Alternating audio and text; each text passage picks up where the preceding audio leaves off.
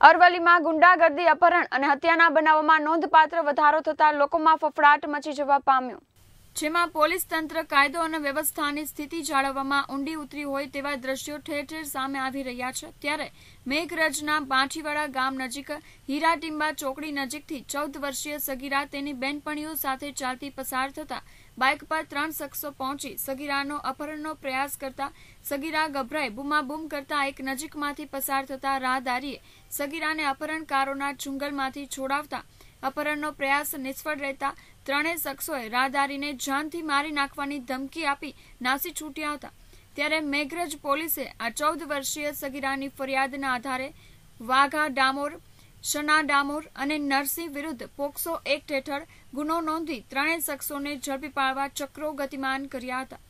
Bureau report KTV news Aravalli.